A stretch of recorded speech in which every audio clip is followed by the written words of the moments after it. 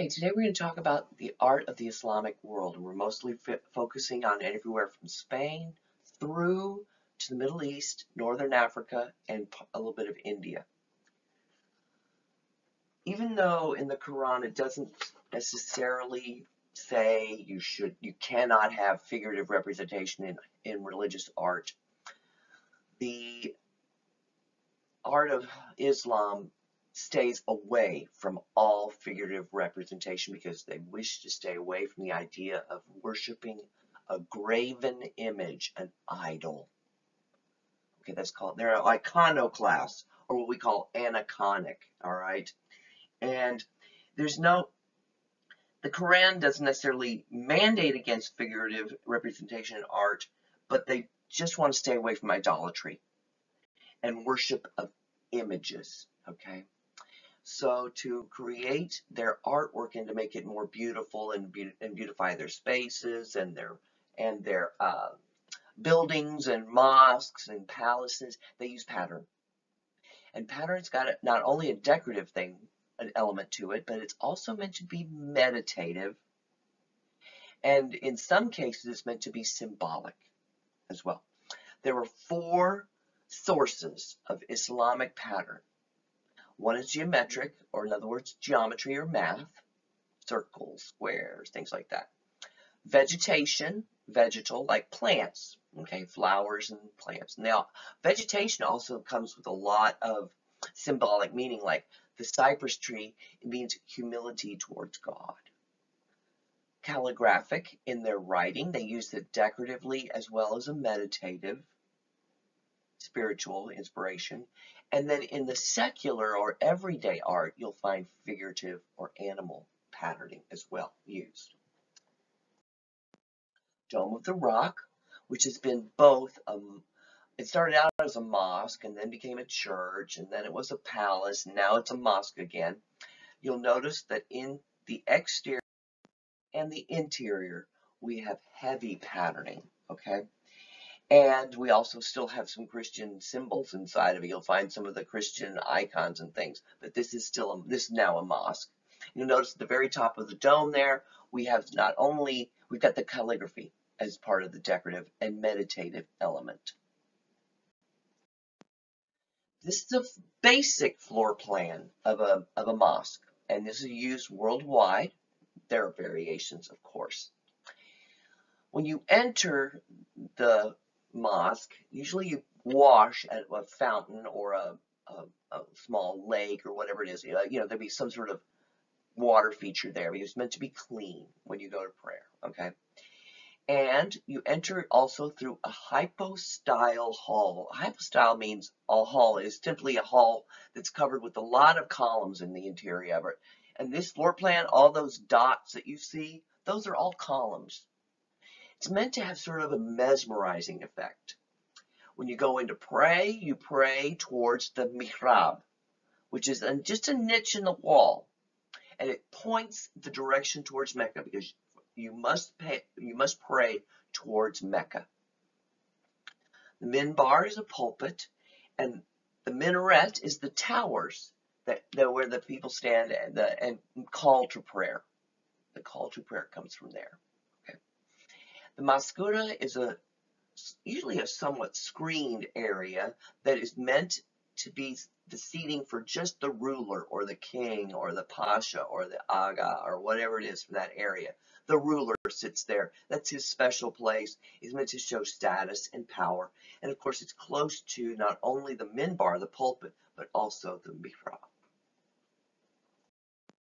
This is the aerial view. You can kind of recognize that area of the of the Great Mosque in Cordoba, Spain. Spain was governed by the Moors, which were, were Islam, for oh gosh, almost a millennia, 900 years or something, yeah, uh, or more. So this originally was a mosque. Now it's a church. the interior. Here's the interior of Cordoba. And you'll notice this is a hypostyle hall with the double archways. Okay?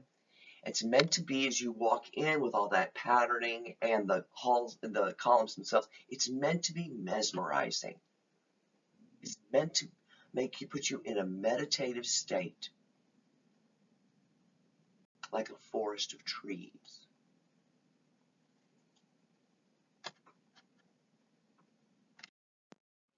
This is the Maqsura in the Great Mosque, okay, in Cordoba.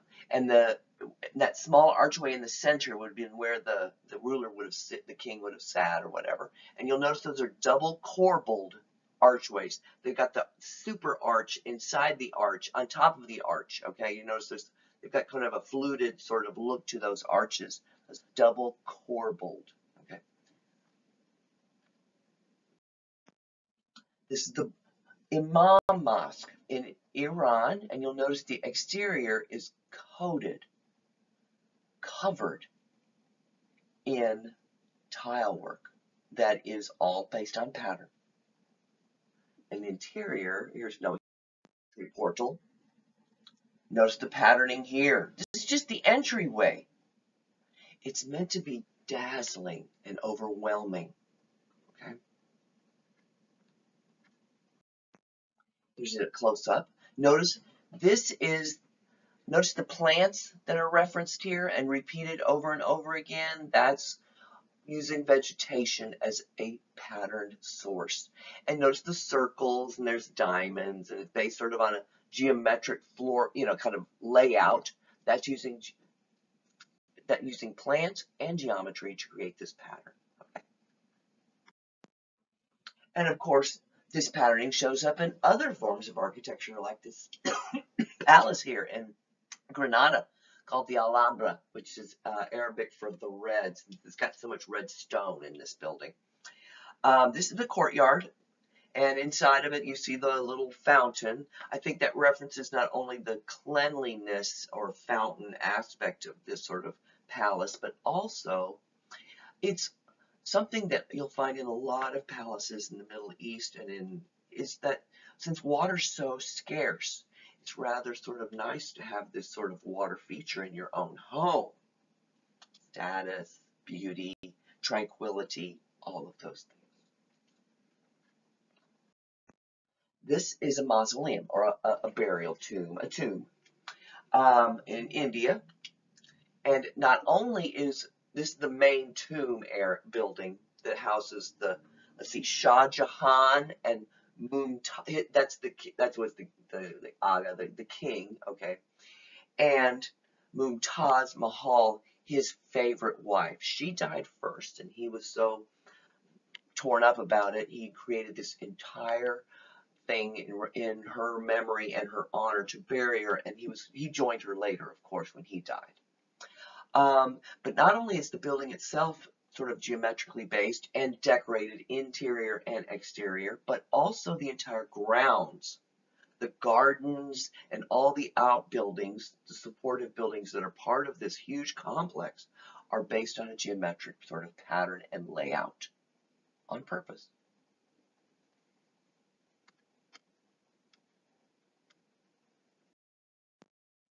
This is called what we call secular art. The uh, art of the everyday, you know, like everyday objects, okay? Rather than something religiously based, okay? This is a, simply a decorative box made of ivory, so it would have been very costly to have made. And you just open it up where the clasp is and you put things in it. But you'll notice here the representation of both people and animals used in a pattern sort of way. We've got this sort of symmetrical balance here in this middle but that's using animals. It's okay in this type of artwork in the art of the Islamic world. And since Christians and Muslims traded and had commerce, they weren't always warring with each other. There was lots of exchange of ideas and goods and services, and they learned from each other and they borrowed from each other in both their their knowledge of the world but also in their beautiful objects and their way they're represented. This piece was actually used in a Catholic church as a baptistry, even though it was made in the Middle East. You even see the calligraphy underneath the lip there. It's made with a this type of technique of this of this metal work is called a marriage of metals. It's like when you inlay pieces of different colored metals and you solder or glue them down using heat. and then you create your look of your designs, or here, quite obviously a figurative sort of thing going on here. This was used in a cathedral.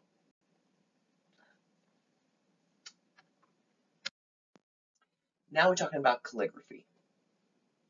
Calligraphy, if you're a calligrapher in the Muslim, for, for Islamic war, in the Islamic world, okay, you must usually learn from a master and it you're to become an apprentice and it takes decades to learn how to do this. You not only learn the techniques and different types of calligraphy, there are several different styles, but you also must learn how to create your own inks and your own papers and your own reeds or brushes that you use to create the look of the work. This is all, calligraphy is used as a decorative, as a beautiful thing, but also as a meditative thing. You're actually meant to read it, but the Word of God must be beautiful as well. And that's why there's calligraphy is so important in the Islamic world. The words themselves are holy, and therefore the script should be holy too, I think. This is a folio, a book of just different types of styles of calligraphy, different types of uh, verse, things from the Quran, okay? And this would have been prized. It's a decorative element, but it's also meant to be a prayerful type of. Notice, notice here in these everyday dishware, calligraphy shows up again as part of the patterning around the outside of the edge. I like that idea of praying before a meal or you know, giving thanks to a meal. Here it's literally represented on the plate. Also in secular art, you'll see this type of thing. This is a, sort of an illustration. It's part of a book. And you'll notice that when you look at it in Western eyes, you're thinking, gee, this is the interior of a home. It certainly looks odd.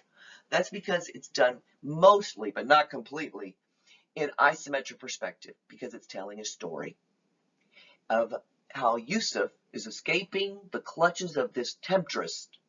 And she's not pushing him off the, the, the floor here. She, the, the lady here in red is kind of grabbing for him, but he's escaping. He's not leaping for you know he's not you know killing himself or anything he's not leaping out of the picture he's basically running to escape this he's got to go through seven locked doors okay she's got him that far into the building and locked the doors behind him and now he's going to escape. And he makes it. But notice that the space doesn't make any sense. This is not a true, we would call Western, real, realistic representation of the interior of a home. It does not make sense spatially, but it's not supposed to in Islamic art. Here it's all about the story and the beauty of the image and what it represents. They knew about linear perspective, they just chose not to use it. And this is another painting. Notice the figures. It's uh, it's the king of the first king of Iran or Persia, Gayumars, the court of Gayumars. There he is seated, hierarchical scale. He's the largest figure right in the center, and to his left is his son, and to his right is his grandson, and there's his courtiers. This king was meant to have brought farming to this area. Okay. And he's actually supposed to have had built his first palace in the mountaintops. And I think that's why they referenced him here holding court in the mountaintops. But it's not what we call in Western eyes a realistic representation. It's meant to be more magical and more beautiful.